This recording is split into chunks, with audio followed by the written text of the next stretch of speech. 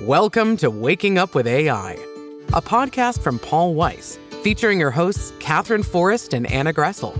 The only update you need on AI policy, law, and governance starts now. All right. Hello, everyone, and welcome to another episode of Waking Up with AI, a Paul Weiss podcast. I'm Katherine Forrest. And I'm Anna Gressel. And Anna, you know, by the way, I hope that our internet holds out because while I'm still in Maine, and Maine is not, you know, it's not like the middle of nowhere. I'm in an area that's got really good internet connection. I've been having a few problems this morning, but we'll fight our way through. But what we wanted to concentrate on today is really some US developments. We've talked a lot about the EU AI Act and US regulatory developments. We don't want to sort of lose our focus on some of them because there have been some really important ones, including, and today's episode's really going to dig into this, the Colorado SB 24 205, which is some very significant legislation. Yeah, it's super interesting. And it's really an important piece of legislation here in the US, and we'll call it the Colorado AI Law. This is a first of its kind cross sectoral AI legislation from a US sensibility. And it's not really that surprising it came out of Colorado. For folks who kind of play in the AI space, Colorado has been a first mover in the past with AI and insurance legislation, and then further to that regulation. And Colorado's also been super active in privacy regulation. So, you know, like California and sometimes Illinois, Colorado tends to be on the top of our list of states to watch when it comes to actually passing the regulation that they proposed around AI. And when it comes to the Colorado AI law, the scope is really important. It's focused on high risk AI systems, and that's defined as AI that makes consequential decisions, like whether someone should be hired or receive a loan. All right. And the definition of consequential decisions is really critical here. And it's one that our listeners should really hold on to in their mind. It means any decision that has a material or similar effect across a wide range of domains, including education and employment opportunities, financial and lending services, essential government services, healthcare services, housing, insurance, and legal services. It's quite a list, Katherine. I know. And what's interesting to note about the law's focus on high risk AI systems is how much its scope actually differs from the EU AI Act and other similar legislation around the world that also regulates high risk AI systems. That is exactly right. And the EU AI Act was, in a sense, really focused on creating a product liability like regime for AI.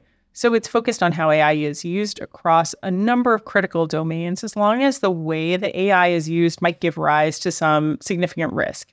But Colorado's approach is actually different.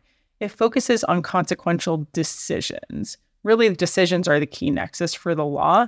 And that means that a much narrower category of use cases are covered in practice because the scope is really focused around the kinds of decisions that are reached that are important about consumers. And Colorado doesn't actually ban AI uses in the way the AI Act does. But as we'll discuss, there are some pretty burdensome requirements once you're in that high risk AI bucket. And another notable point about the Colorado AI Act, like the EU AI Act, is it really does try to impose different requirements on different actors across the AI value chain. And we've actually spoken a little bit about that in the past. In Colorado, the two key groups of actors are developers in one group and deployers in another of high risk AI systems. Yep, that's right. Under the Colorado AI law, both developers and deployers have a duty to use reasonable care to protect consumers from any known or reasonably foreseeable risks of algorithmic discrimination stemming from the intended uses of the AI system.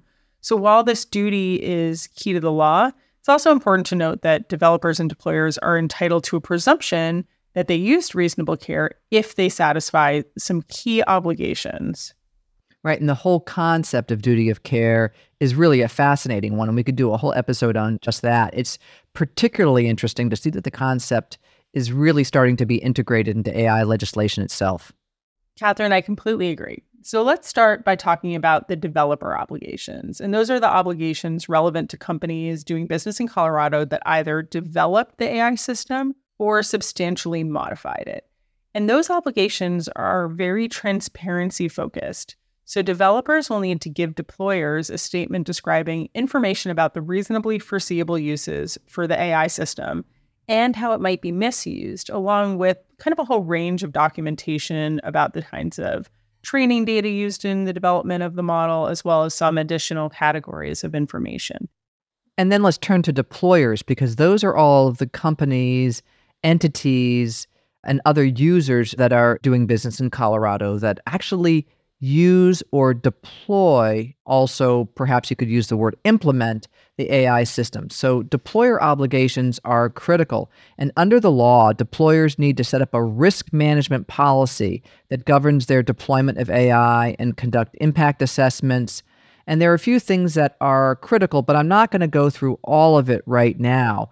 But there are some disclosure obligations, there are notification obligations, and if a decision that one of these systems makes is a consequential decision, then there are certain other kinds of obligations that come into play. So it's really quite comprehensive. Yeah, and I want to touch on one thing, which is for both developers and deployers, there are also important incident reporting obligations around algorithmic discrimination. And I think in some ways, this is one of the first times we've actually seen anything like this be enacted in the US. I want to pause on it briefly.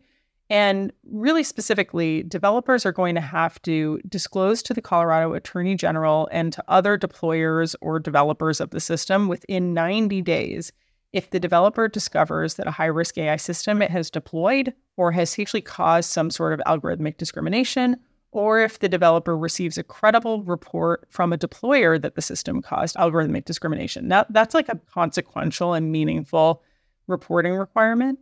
And on the flip side, deployers have similar incident reporting obligations, and they have to actually notify the Colorado Attorney General if a high risk system that they deployed caused algorithmic discrimination, again, within 90 days after making such a discovery. So that's a pretty quick turnaround and potentially a very broad reaching and important obligation to keep in mind.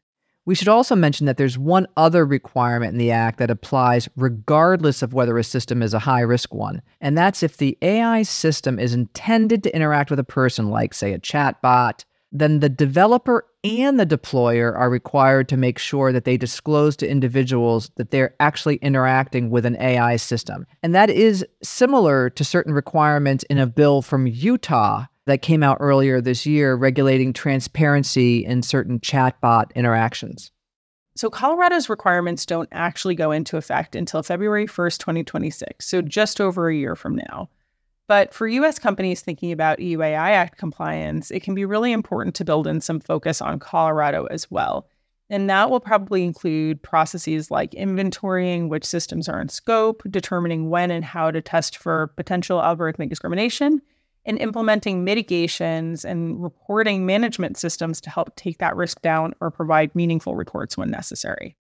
But it's important to note that because this law isn't going to be fully implemented until 2026, there's really a potential for further changes. And in fact, when Colorado's governor signed it into law, he wrote a signing statement explaining that when he approved the legislation, he approved it with reservations. And he went on to say that if the federal government does not preempt the law before it goes into effect, he encourages his own legislators to work with stakeholders to significantly improve the legislation. So, the practice pointer for today is this for anyone focused on the US kind of regulatory terrain around AI, the state legislatures are the place to watch. Colorado is a great signpost here. They were able to pass a very all encompassing cross sectoral AI law, but there was a lot of debate about that and even reservations for the governor. So we're seeing similar kinds of legislative battles get teed up in significant states like California, where there are a ton of AI laws currently pending for this legislative session. And as we'll talk about in future episodes, there have been other states that have been very effective at getting AI focused bills passed, such as digital replica bills in states like Tennessee and Illinois. Right. It's really fascinating stuff. And we're going to discuss this more in further episodes. We'll be talking about the Colorado AI Act, really, I think, quite a lot. But that's all we've got time for today. I'm Katherine Forrest. And I'm Anna Gressel. Make sure to like and share the podcast if you've been enjoying it. Thanks for listening to Waking Up with AI. Be sure to subscribe in your favorite podcast app to stay up to date on the latest in AI policy, law, and governance. For more information on Paul Weiss, go to our website at www.paulweiss.com. This podcast is not intended to provide legal advice, and no legal or business decision should be based on its content. Past results are no guarantee of future outcomes.